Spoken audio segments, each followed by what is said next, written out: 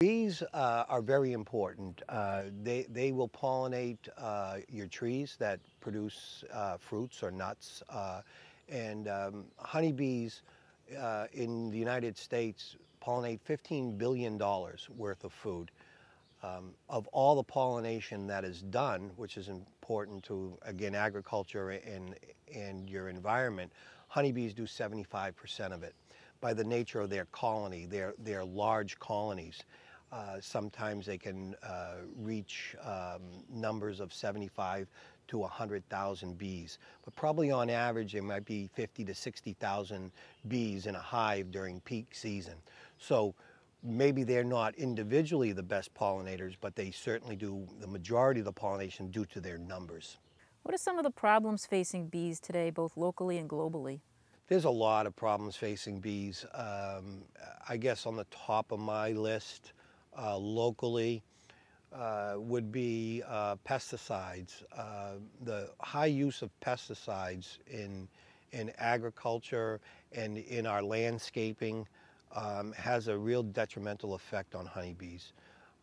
Um, the second thing is foraging. Um, honeybees need to constantly forage for fresh food. Uh, that's their nutrition. Um, and when there's a lack of foraging due to our urban development, um, the health of the honeybee can uh, really suffer. What is colony collapse disorder? Colony collapse disorder was something that was happening mostly with commercial beekeepers, probably started about 10 years ago now, I would think, where the colony that would be, say, a thriving colony of 50 or 60,000 bees would dwindle down to maybe less than 100 bees um, in a matter of uh, a very short period of time, a few days. Um, and uh, the researchers have tried to figure out why um, this is happening, um, and, and, and we don't have an answer. Uh, they, um, it could be a multitude of things because when they go and look at this hive, these hives have um, evidence of high viruses, have ev evidence of um, fungal spore disease, nosema, have pesticide levels in the hive. It's like a perfect storm.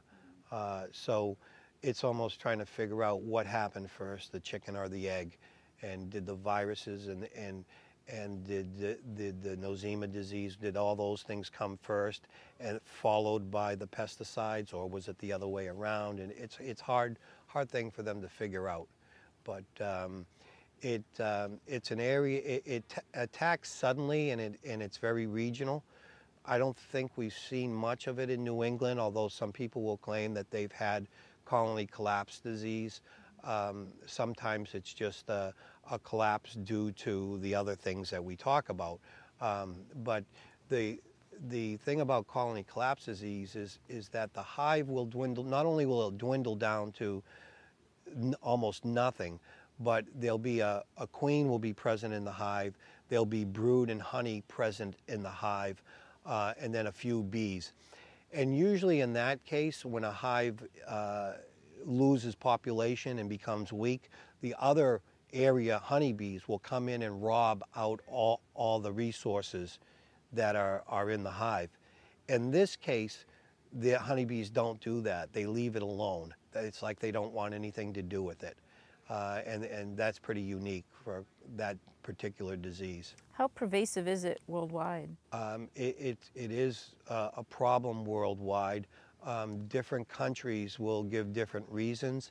Um, I think one of the main concentrations is, is to um, ban nicotinoids, um, which are uh, pesticides that um, are systemic.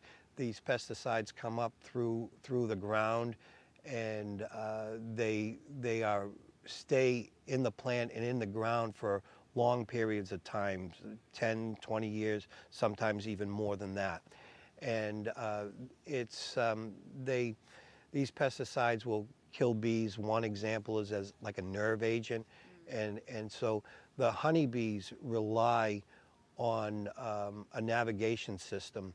So they use the sun to navigate. So they leave a hive and they come right back to the same spot using the, the sun. And if these um, pesticides are somehow affecting their nerves and their ability to uh, navigate, it could be one of the explanations why bees fly out and don't come back. Do organic farming methods help? I think anytime we go organic, it has to help. Uh, and the, the problem is honeybees can fly a mile or two miles away, so they can cover a lot of territory.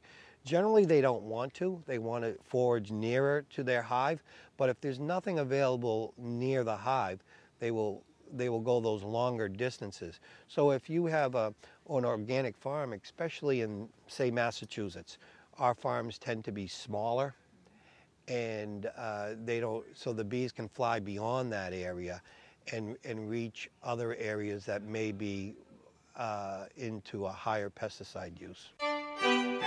This excerpt is brought to you by the Massachusetts School of Law, the leader of reform in legal education and a leader in multimedia education for the public. To view the full interview and for a full listing of MSL's programs, log on to mslaw.edu.